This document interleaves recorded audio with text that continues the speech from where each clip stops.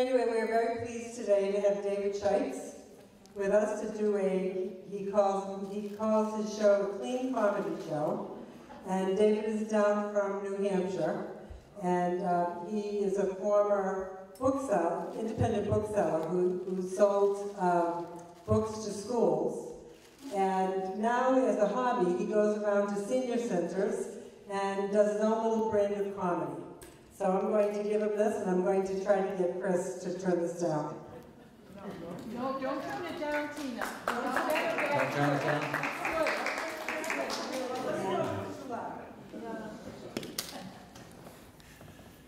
אם אתה רוצה לנסוע למכונית שלי, אני חושב שזה בסדר גמור.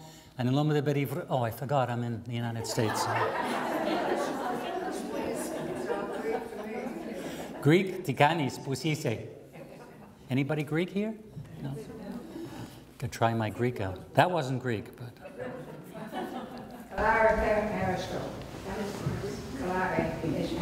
Ah. Ich würde später sagen, das ist gut. Anyway, my name is David, David Shikes. I live in New Hampshire, and uh, as she says, I do go to uh, senior centers all over Massachusetts. You have the distinction, I must tell you, in the state of Massachusetts, as being the only state in the country that can make the claim that you have a senior center in every, every single town. You cannot name a town in this state that does not have a council. I can name one town, the town of Monroe, which is way out in western Mass. Every other town has, they don't necessarily have their own building or their own, you know, place to meet like you do. Uh, like Stow, in Stow, and I think in Carlisle, in um, some of the towns that I've been to, Ashfield, which is way up in western Mass, they, they meet in a church or, you know, or in a community center. This is a fabulous location, incidentally, I think. Uh, I was here about three years ago in the evening. We had a supper here, and I had a nice group. Some of you may have been. Um, and I don't change my menu too much, which is great because the seniors never remember, you know, from. but I came to, uh, to make you smile a little, but I'm going to start out on a serious note for a second. And my cardiologist at Mass General Hospital told me that it was a nice, she, she really approves of my starting out on a serious note. When I told her that I was offering a few words to my seniors before I try to make them giggle a little bit, um, there's nothing more boring than to hear about somebody's health history. Um, so I'm going to try not to bore you, but there's a point a very, a very valid point, I think, to my bringing this up for a second. I'm the guy that's run five Boston marathons, and um, I'm in the woods taking trees down, uh, and I take, I take three mile walks, five mile walks. I do a lot of physical stuff, but I was sitting at home a year ago in February talking to one of the directors of one of the senior centers, in this case it was in Worcester, and just sitting at home on the phone, and suddenly, out of nowhere, I felt chest pains. So I called 911. Our Atkinson, Atkinson, New Hampshire is where I live. Our voluntary group came over immediately. They were there within two minutes. They rushed me to Lawrence General Hospital. The ER doctor took a CAT scan and an EKG and said, David, it's not your heart, it's your aorta we can't help you here. You've got to go to Boston. Where do you want to go? I said, I want to go to Mass General. So on a Friday afternoon, during rush hour, I got on ambulance number two. 35 minutes later, I arrived in Boston at Mass General. The surgeon met with me and told me that he was going to perform an operation. He was wearing a turban. I knew right away he was a Sikh from, from India. He was really, really a class act. Just, just by listening to this man for 20 seconds, you know that you were dealing with the best of the best of the best. He performed an eight hour surgery on me, closed up the aorta, changed the aortic heart valve, and here I am. But why am I telling you all? He told me that running the marathon may, stuff like that may have helped me. And I am pushing 80, 80 years old. I'm not quite 80, but almost. And so, um, you know, the age factor. But I, I asked him, you know, why do you have things like this? Why do these things appear? Nobody really knows. They suspect that it's maybe genetic, but they don't. But why am I telling you all of this? One simple reason. We're in Concord. You're right on the throes of the best hospitals in the world. If you think that something is happening to you, you're in the theater, you're watching a show, you're at home watching TV, you're in a restaurant, you're driving. If you think something's happening to you and, you and you're not sure what it is, don't just do what senior citizens usually do. Oh, I'll go lie down, it'll go away. If I went to lie down for even half an hour, we wouldn't, I wouldn't be talking to you right now. That's how critical some of these things can be. This came out of nowhere. This is the Boston Marathoner that suddenly has an aorta uh, dissection. I mean, who knows? The point is very simple. If something is happening to you, do something about it. You're within minutes of the best hospitals, never mind Massachusetts, the best in the country are just within minutes of Concord. So that's the message for the day. Take care of business. I know that you know this already, but when you hear it from the outside, it doesn't hurt. And I just went through this, it was frightening. But thank goodness for Mass General Hospital. I can't say enough about that place. You know, incidentally, when you go to the hospital, the first thing they insist on doing is putting one of those really skimpy Johnnies on you. So now you know where ICU comes from.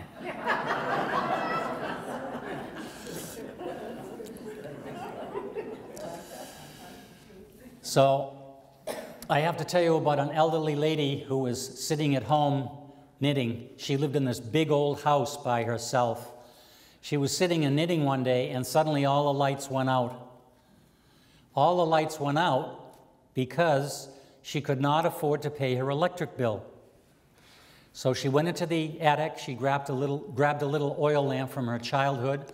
She's sitting and rubbing it clean, and as she does so, a genie comes out, offers her three wishes.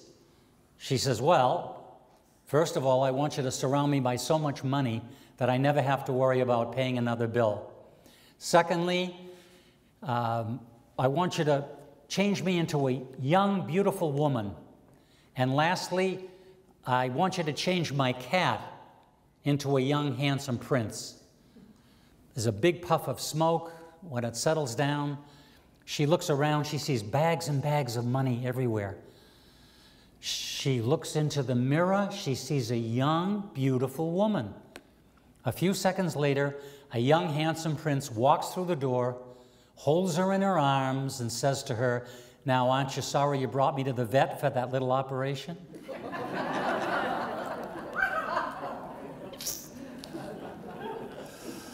well, since we're into a sort of a, a, a, a political situation right now, I don't know if any of you watch CNN or MSNBC or whatever, but uh, they seem to bring up politics mm, like every two minutes. So I have to tell you that uh, Hillary Clinton, Barack Obama, and Donald Trump all passed away. They went up to heaven. God greeted them in heaven and said to them, You know, uh, I'm not going to just invite you into heaven without qualifying you first. There has to be a qualification phase. Well, they weren't very happy, but they're all the way up there. What are you going to do? So he talks to Hillary first. He says, Hillary, what have you done on earth that's so special that I should invite you into heaven? Hillary says, Well, early on, I worked on behalf of lots and lots of children's causes. I tried assisting our president to the best of my ability. I'm a former Secretary of State. God said, That's enough. I'm impressed. Sit on my left side. Barack Obama comes up. Barack, what have you done that's so wonderful that I should invite you into heaven? Barack Obama says, Well, I, I tried being the best president that I could possibly be. Early on, I was working on behalf of race relations. We have an Affordable Care Act in America. We have 20 million Americans who have health insurance now. They didn't have that before. God said, That's fantastic. Sit on my right. Donald Trump comes up. God says, Mr. Trump, what have you done on earth that's so wonderful that I should invite you into heaven? Donald Trump says, I believe you're sitting in my chair.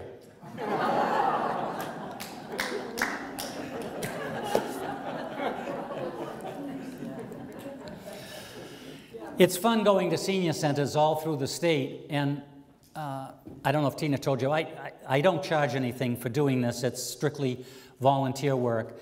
Um, they all say the same thing David is really not that funny, he just doesn't charge anything. but it's really an education, and it's not just the larger towns. Some of the larger towns that I've been to, I had 160 seniors the other night in Peabody, for instance. Peabody Senior Center takes up a city block. It's unbelievable. And so is the senior center in Beverly and in Danvers. And Newburyport has a fairly new, uh, about a four year old uh, senior center. It's beautiful. One of the nice things about this state, you know, I, I, realize you hear all kinds of conversations. And up in New Hampshire, where I live, you know, we always talk about Taxachusetts. But I try to remind people that although you pay a little bit more in taxes than we do, a little bit more. You don't pay a lot more than we do. You pay a little bit more. But you have sidewalks. You have in most of your towns. Your, your public libraries are better. Your school systems are better. Your hospitals are better. You have a senior center in every town. We don't have that in New Hampshire, not in every town. I was in Plymouth, New Hampshire three months ago. Plymouth is northwest of Concord. Plymouth has a beautiful senior center. They service 17 towns. So if you live in Wentworth, New Hampshire, you drive 42 miles to the senior center. You get the difference? That's what you get in this state. And if you have a child with special needs, God help you if you live in New Hampshire. This is the state to live in. If you have special needs, services like that, you're just light years ahead of us. You really are. I hope people see this. I hope they recognize it.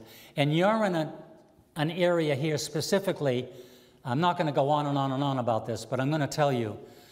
Number one, your senior center happens to have a terrific reputation. It's your staff that works here. Uh, and I know because I know Emmett in Boston, who is the director of all the senior centers in the state of Massachusetts. He really condones what I do. We're, we're very good friends. And he and his staff have raved about Concord. So you're in a really, really enviable place being here. There are a lot of other reasons why Concord is a wonderful place. I don't have to go into all of the reasons you already know. This is a very special area in the, in the whole state of Massachusetts, as far as I'm concerned. You should be very, very happy that you're here. Speaking of uh, one of our sister states up in Maine, I have to tell you about Camden Pierce who lived up in East Vassalboro, Maine.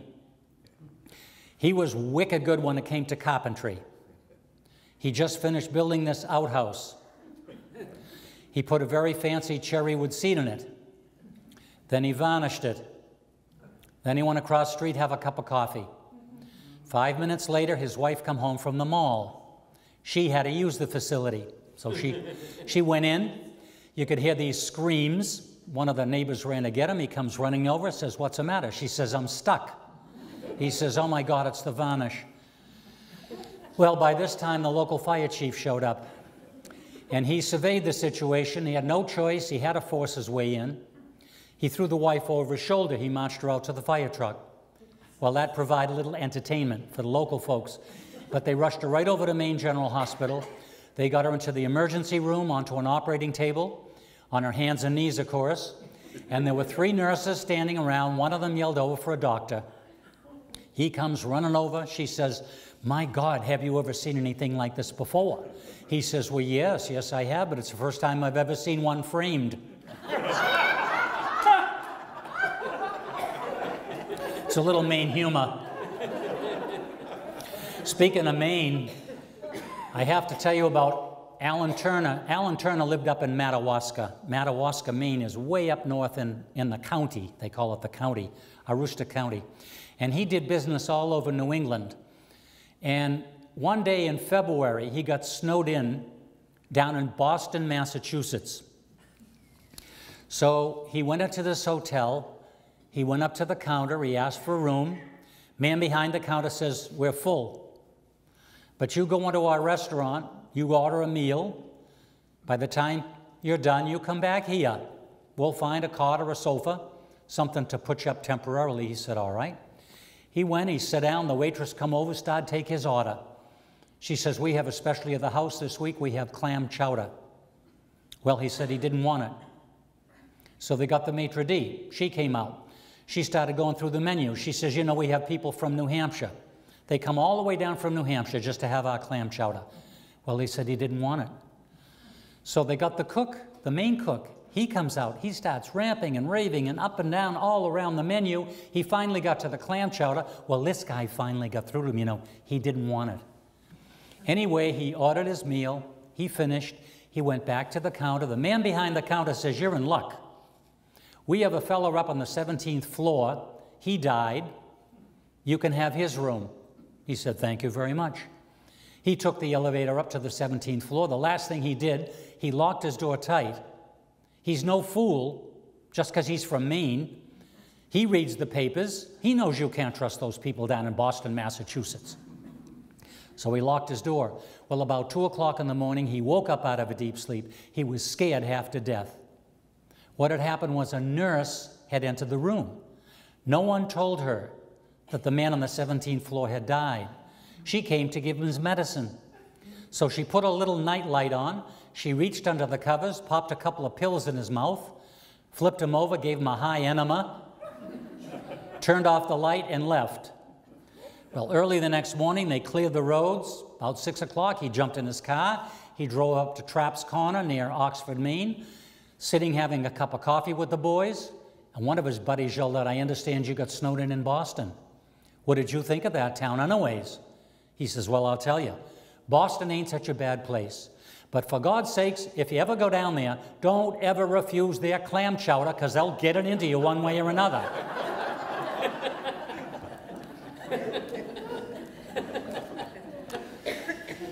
This one I told to a, a group when I was a, a, patient at Mass General Hospital. I was uh, in Mass General for about a week before I came home. Uh, I was walking in the corridor with one of the surgeons, and we passed a room with five nurses having a coffee break. He said, Tell, tell this one to them. So, you know, one of my medical jokes. So I said, All right. And you could have heard them screech from, from Mass General to Concord. Um, but it's about a pastor who's talking to his congregation. He asks if anybody has thanks to give for an answered prayer. Susan Smith stands up. She comes forward. She says, We have thanks to give. Recently, my husband Tom suffered a terrible, terrible bicycle accident. His scrotum was completely crushed. All the men in the congregation shifted around very nervously when they heard that. Any movements that my husband made toward me or the children caused him terrible pain. But we have thanks to give because one of the doctors was able to perform a very delicate operation on my husband. He gathered together the remnants of Tom's scrotum, wrapping wire around it to hold it in place. We are told that in six or seven weeks he'll recover. She sits down. The pastor then tentatively asks if anybody else has thanks to give for an answered prayer. A gentleman stands up and very slowly, slowly walks to the podium. He says, My name is Tom Smith. The entire congregation held its breath. I would just like to tell my wife the word is sternum.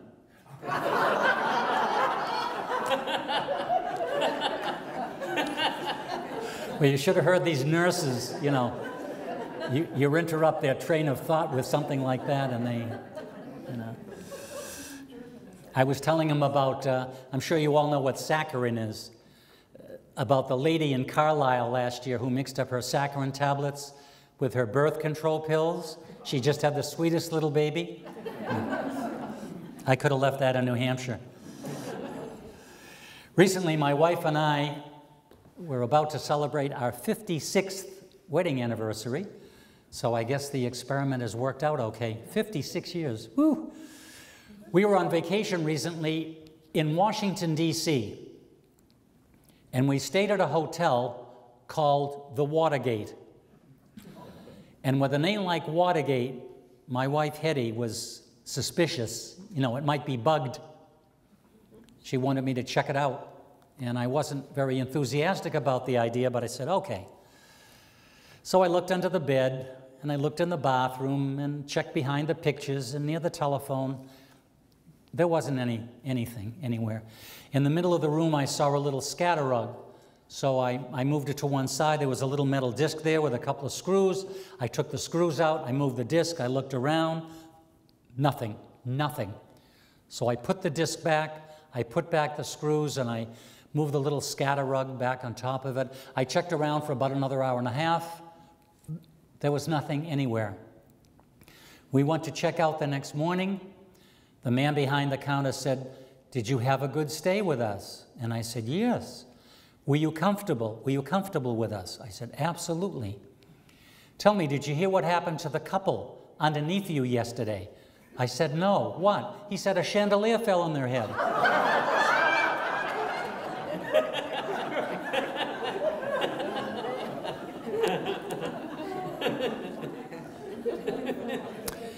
so there's a fellow sitting at home just reading, and he discovers that he's out of cigarettes. So he tells his wife he's going to the corner bar to pick up a pack. He'll be right back. So he walks over to the bar, and Jake, the bartender, offers him a beer on the house. So he's sitting, nursing it along, when suddenly this beautiful blonde walks through the door. Well, he looks the other way. He knows he has no time to fool around. Can he help it if she comes and sits right beside him, tells him how thirsty she is? So he buys her a few drinks, they start talking, they're getting very friendly. She decides she really likes him. Long story short, she invites him over to his place. How can he resist? So they go to her place. They're getting very, very intimate. The next thing you know, it's four o'clock in the morning. He shakes her out of a deep sleep. He asks her if she has any baby powder. She says, Yeah, it's, it's in the medicine cabinet in the bathroom.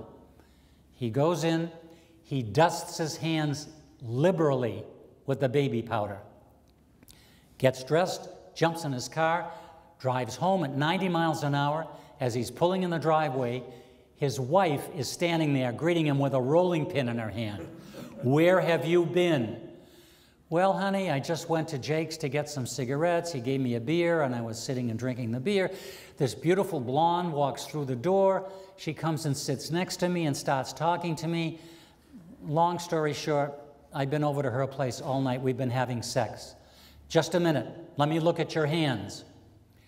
Don't you ever lie to me again, you rotten skunk. You've been out bowling all night. the powder, the powder.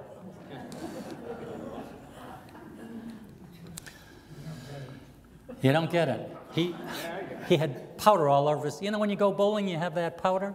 I think. In 1944, during World War II, there was an American soldier who was stationed in Paris, in France. And he was sitting in a room on a very comfortable sofa with his very young, very beautiful French girlfriend.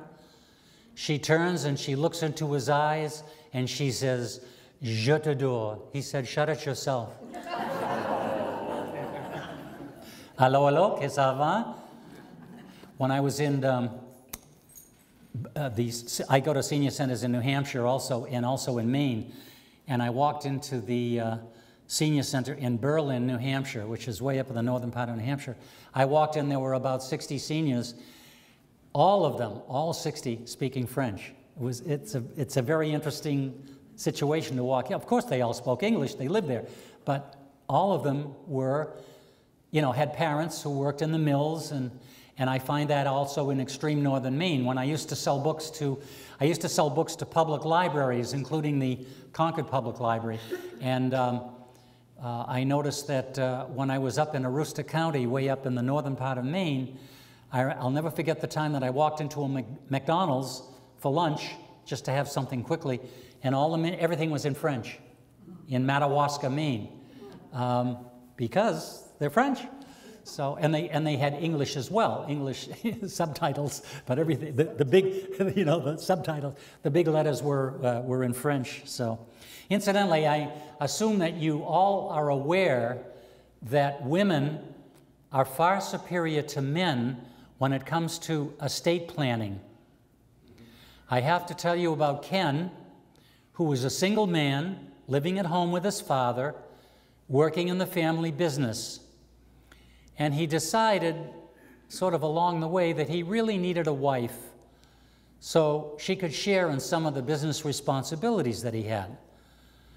And one evening at an investment meeting, he met the most beautiful woman he had ever met.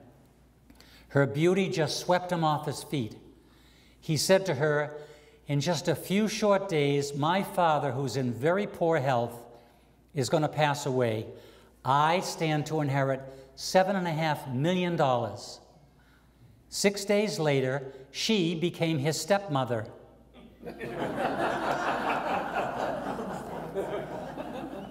Got to think about that for a minute. There was a very elderly lady who lived up in the northeast kingdom of Vermont, way up in the northeast kingdom near Canada. She was 103 years old, going on 104, quite elderly. She was getting on in years, as she also, incidentally, was a virgin. And she was very proud of the fact that she was a virgin. She raved about it as a lifestyle to all of her, her friends, her closest friends. But because she was getting along in years, she decided to approach the undertaker in town, who was also the postmaster, very small town in Vermont. She said to him, When I pass away, I want you to have etched on my stone, born a virgin, lived a virgin, died a virgin. He said, I could do that. That's easy. Unfortunately, about three months later, she passed away. Very unfortunately, she only left a very, very small sum of money, only enough for a tiny, tiny stone. Well, you can't fit all of that in such a small stone. I mean, this guy is going crazy trying to figure this out. He's really going nuts, obsessing over this night after night after night. Suddenly, one evening, he got a brainstorm, reverting back to the days when he was a postmaster. He knew he could deal with this, and he did. So he ended up putting on her stone, returned unopened.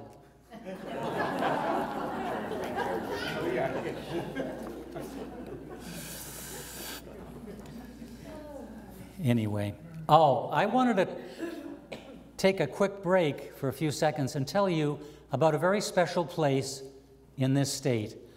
And it's perfect because it's off of Route 2 I send a check every year to a very worthy organization in Massachusetts called Trustees of Reservations. I'm sure you've heard of them. They oversee some of the nicest places anywhere that you can. Did you ever hear of Cranes Beach in Ipswich? That's one of the places that they maintain. And they have places all over the state, from Boston west. And I'm going to tell you about a place which I think is very special. Those of you who are mobile, which looks like all of you, you can walk around a little bit. You, if you enjoy nature and you enjoy the peace and quiet and beauties of nature, this is a special place. Raise your hand if you know where South Royalston is. Okay, we got about five hands. If you were to go out Route 2 west, and go, go through Westminster and past Gardner. You'd get to Athol and Orange, okay?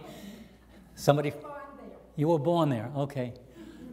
Athol, incidentally, has a terrific senior center. but there's a town next to Athol called Royalston, and Royalston is very, very rural. Woods, it's just woods with a few people. But there's a place there called Doane's Falls. Did you ever hear of the old Doan's pills? spelled the same way. What you should do, do yourself a favor when you go home tonight, access your smartphone or your computer and access Doane's Falls, Royalston, Massachusetts. D O A N E S, Doane's Falls. What is it? You park your car, you walk in, and you see and hear a waterfalls. And it's a very nice waterfalls. The waterfalls empties into a river which is down below. It's way down below. They even have steel cables for you to hold on to so you don't get dizzy looking down because it's quite a drop. And you can follow the river along, you can go into the woods, you can walk a mile or two if you want, or you can walk 300 yards. You can do what you want. Everything is marked so you, you don't get lost. You don't have to worry about crowds of people because nobody's heard of Royalston. It's not like going to, um, what am I trying to think of? Uh, Thoreau, Walden Pond, where you have to hunt around for a parking space because everybody goes there. This is a place, it's, it's in the woods. You have this beautiful river. On the other side of the river, there's a big lake called Tully Lake. Tully Lake supplies the drinking water for the city of Worcester. And they have picnic benches, and if you were to go on a weekend, you would see lots and lots of grandparents and great grandparents having lunch with their grandchildren and great grandchildren. You can also swim and boat on the lake, but the main thing is to go there and sit and have, have lunch. So I'm mentioning it because we're right on Route 2 in Concord here, just about. If you go out Route 2, it's, I don't know, an hour from here. I don't even know if it's that much. For me, it's almost two hours where I live. For you, it's much closer. I recommend that you go maybe when the foliage changes, you'll see some color. If you go in the next month or two, my only suggestion is to bring bug spray. You're in the woods. And when I say you're in the woods, you're really in the woods there. It's, it's just, that's what it is. But it's beautiful. It's, it's some of the beauties of nature, as I say. People think of Massachusetts as Lowell and Lawrence and Haverhill, and they forget that if you go a little bit to the west, and you don't even have to go west, there's plenty around here that's beautiful also.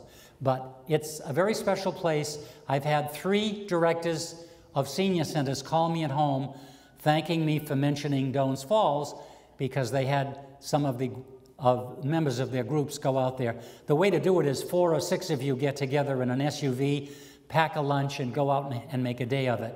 It's a nice place to walk around, peaceful and beautiful, and it's just, just plain fun.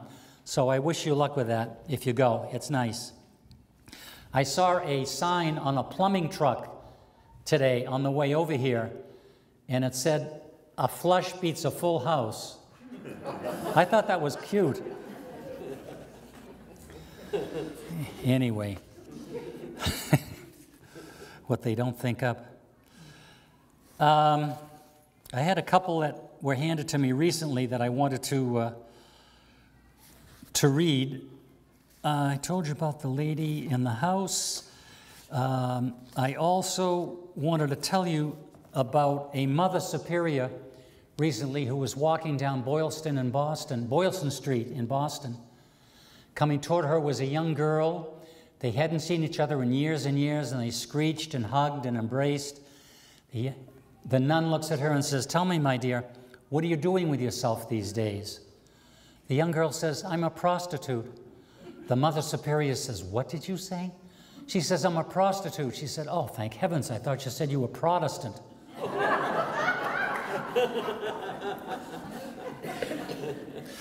There was a, a Roman Catholic priest who was sitting in a doctor's office reading a newspaper when suddenly this red faced nun comes running out past him. He stands up and he, he goes and confronts the doctor. He says, What did you say to that woman? Doctor says, I, I told her she was pregnant. Why would you say such a thing? Well, it sure cured her hiccups. We had an incident in um, Manchester, New Hampshire recently. There was a teenage kid who was sitting on a brand new Harley Davidson motorcycle that his father bought him for Christmas. And he's sitting at a traffic light waiting for the light to turn to green. This 96 year old gentleman, little gentleman, pulls up right beside him in a little moped. He's looking at the bike. He says, Oh my God, what a beautiful bike. Could I look at it? The kid says, Sure, why not? He doesn't care. Anyway, the, the light turns to green. This kid takes off in a hurry. Before you know it, he's up over 50 miles an hour. He checks his side view mirror. He sees a little dot. And the dot seems to be getting bigger and bigger and bigger and bigger and bigger and whoosh right by him at supersonic speeds. He doesn't pay any attention, he doesn't care, he keeps driving. He looks straight ahead into the horizon, he sees this dot coming toward him again, very fast, growing and growing and growing and whoosh right by him. He checks his side view mirror a second time, and again he sees this dot gaining on him, getting bigger and bigger and bigger. Before you know what happens, wham, right into the back of his motorcycle, knocks this kid off. He picks himself up, he dusts himself off. He looks down on the ground. This little old gentleman is down on the ground. He looks at him, he says, Sir, I'm so sorry. Is there anything I can do to help you? The little old man looks up and says, Well, could you please disconnect my suspenders from your handlebars?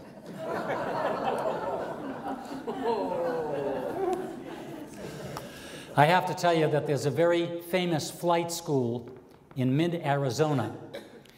And at this flight school, they train fighter pilots from all over the world. This particular morning, I mean, they, they come from everywhere, from Europe, from the Middle East. And this particular morning, there were two gentlemen that this flight instructor was teaching. One was a young Israeli soldier, the other was a gentleman from Egypt, an Egyptian.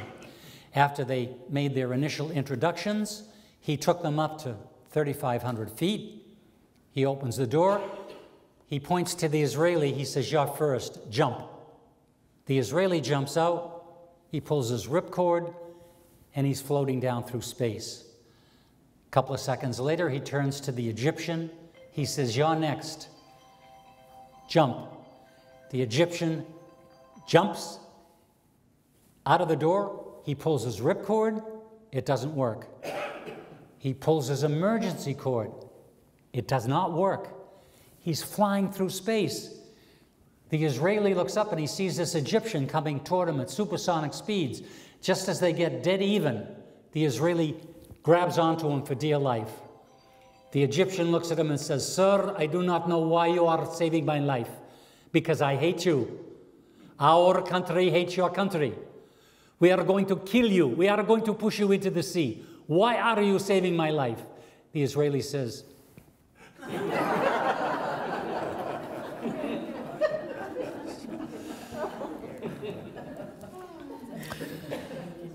There was an, uh, an older married couple. They were celebrating their 60th wedding anniversary by vacationing down in Florida.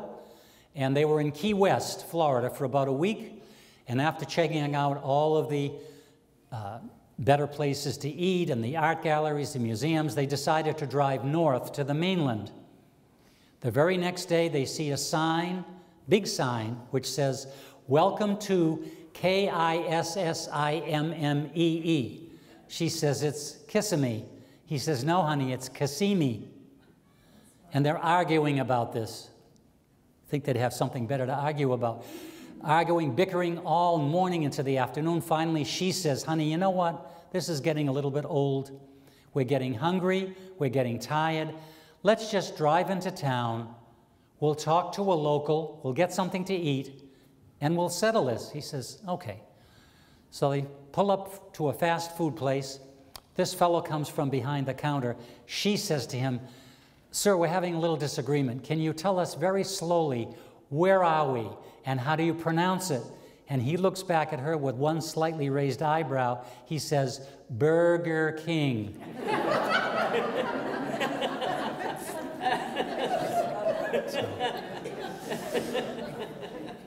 so I have to tell you about Sophie and Sarah. Sophie and Sarah were two elderly Jewish women. They made an agreement that if anything happened to one of them, that the other one would keep in touch through a seance. Sophie passed away. Sarah was sitting in this dark room. She says, Sophie. Sophie says, Sarah, is that you? She says, Yeah, that's me. What's new with you? She says, Well, I get up in the morning, I have a little salad, I have a little sex, I take a nap. I get up in the afternoon, I have a little more salad, I have a little more sex, I take another nap. She says, Oi, it sounds like heaven where you are. She says, Heaven, I ended up as a rabbit in Tucson, Arizona. so.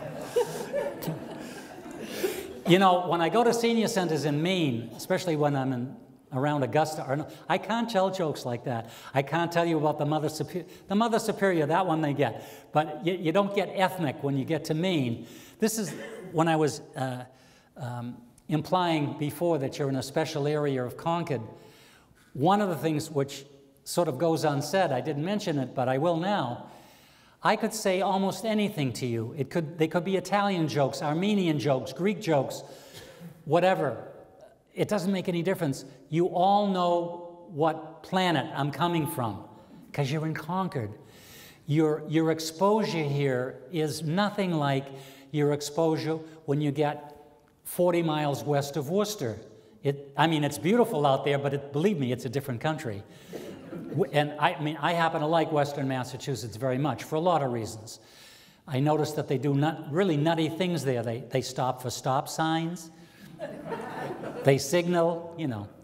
But, but you know what I'm getting at? I'm, getting, I'm, I'm simply implying that this is a very sophisticated area, and it really is.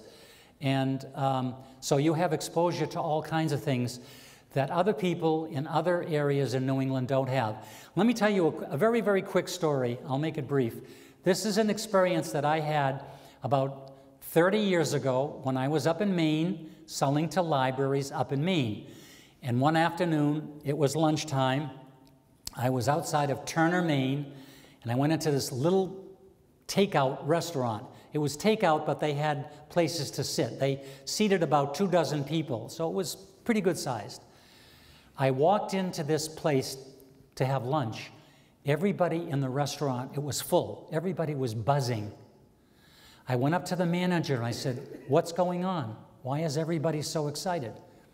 What happened was an African American man in a big car with Massachusetts plates drove up to this takeout restaurant just to get something to go. He, he went in, he picked up his food, and he left. That was it. Everybody was buzzing. Why? They had never, ever seen a real Negro person. They have newspapers, they have TV, and you can't, you can't imagine that this would happen in the United States of America. You, you could almost laugh about it, except it wasn't funny. They were just, they weren't saying anything negative. They weren't being negative. They were just fascinated because they saw one. This is a little town in Maine. And, you know, you, you tell this to people, and it's, it's almost difficult to believe that that would happen. And I, I never forgot that. That's what I mean by exposure. Um, I, I, visited a, a, regional high school there one day, and the guidance director told me this was Nokomis High School in Pittsfield, Maine, which is next to Newport, Maine. And he, had, uh, he told me that they had a large group of juniors and seniors from their high school make a, a field trip to Boston. And most of these kids had never been out of their town before. A couple of them had been to Portland. The rest of them had never seen more than a three story house. They went to Boston. One of the experiences they uh, partook of, they went to the Science Museum. He said that their kids spent 45 minutes riding the elevators. You're 16 years old. You've never been on an elevator. What are you going to do? You're going to ride the elevator up and down, up and down, 45 minutes. You know, it's, it's comical, and yet uh, that's the way it is in, in some of these far reaching places where they simply don't have the exposure. I'm going to try a little um, game for a second. I want you all, for a second here, to pick a number, any number, don't say it, just think of a number in your head from 1 to 10. And I want you to multiply that number times 9. Now, if you have a two digit number, add the two numbers together. For example, if the number was 61, it would be 6 plus 1 is 7. So think of a number from 1 to 10, multiply it by 9, and if you have two digits, add the two together. Now subtract 5. All right, whatever number you're at now, I want you to pick the letter of the alphabet that that number would correspond to. One would be A, two would be B, three would be C, okay? So pick the letter of the alphabet that that number corresponds to. Now I want you to think of the first country. It has to be a country that comes into your mind that begins with that letter.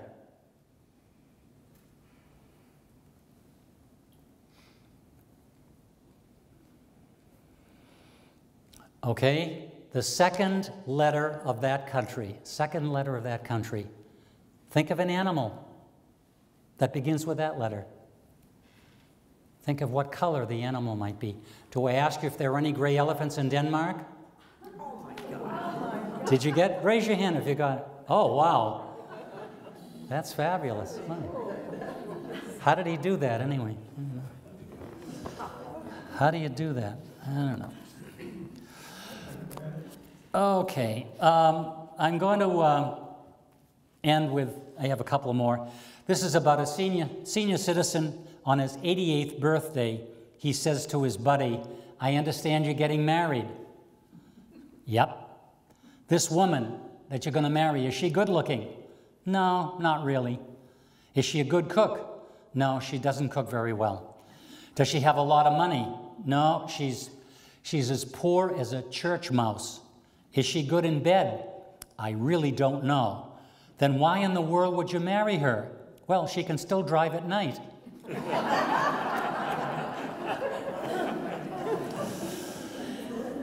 this is called a memorial stone. This is about a woman who lost her husband who had $30,000 to his name.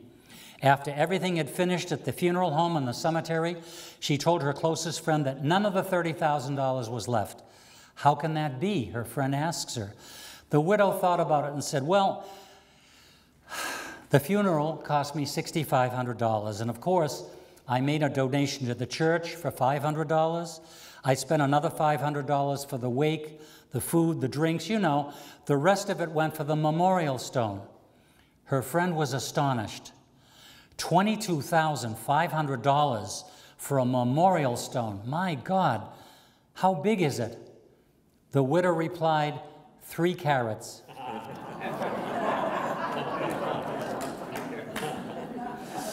so, so um, this is about two men who were sitting next to each other at a bar. After a while, one guy looks at the other and says, You know, I can't help think from listening to you that you might be from Ireland. The other guy says, Yes, I am. First guy says, So am I. Where Whereabout in Ireland might you be from? The second guy responds, Well, now, I'm from Dublin, I am. First guy says, Sure and Bagora, so am I. Tell me, what street did you live in in Dublin? The other guy says, Well, it was a lovely little area in the old section of town. I lived on McCleary Street.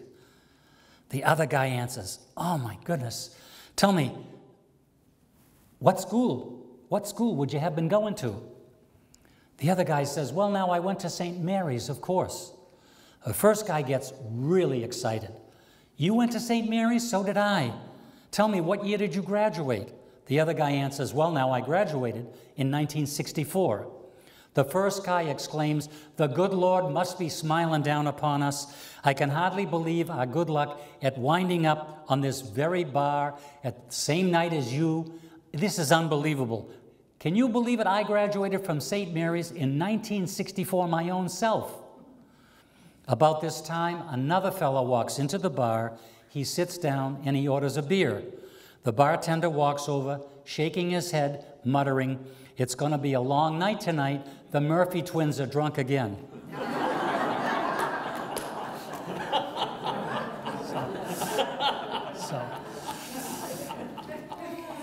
And last but not least, this is about Jacob. Jacob, who is 96 years old, and Rebecca, who is 94.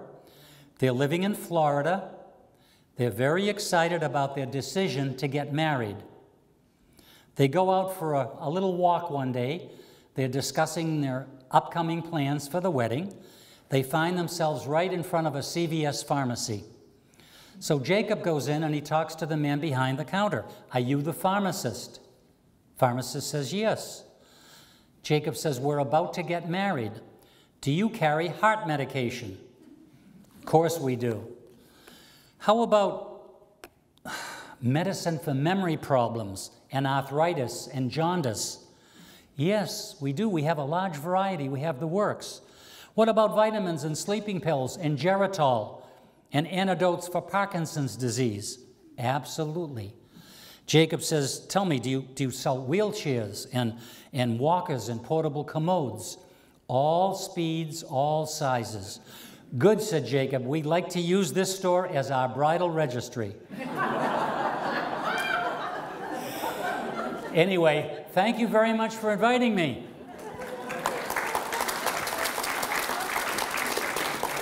And I want to remind you again, I have no ulterior motive for this. I don't, uh, you know, the trustees of reservations are all, all volunteerism. You have nothing to lose. Check it out. Check out Doane's. And a couple of you in the back here know what I'm talking about because you're, were you born in Athol? Where were you born? I was born in Athol. In Athol. There for a while. I'm back now. I've lived in different states in my country. And my daughter said, Mom, you know, you're getting up there in age, you've got to come back. So she and her husband paid for me to move back here. Have you ever, have you heard of Falls? Well, what happened, I was in high school, and we went, it was not, and I was afraid, it was not big, big like it is now. And we'd stand up there like that, and I'd think, oh my goodness. It was Oh dangerous. goodness, Yeah. It's, it's dangerous, I'm not, somebody pushed me in, and I went right down. Thank goodness, I went straight down, and I was able to get up on the rock, and then climb back up and go. Well, now, as I say, now they have steel cables. It's, it's a lot safer. So there's no, there's no danger at all. But it's, it's quite a beautiful place. And um, yeah, it's worth it. It's worth checking out. So go online. If you go online, you'll see some visuals. You'll see what I'm talking about. And then if you decide, a few of you get together and make a day of it. But it's, I mention it because it's not a well known. I could have talked to, to you about the Gorge in Chesterfield, another nice place. Uh, Purgatory Chasm in Whitinsville, maybe you've heard of that. But, but the um, Doane's Falls, I think, is really, really a lot nicer.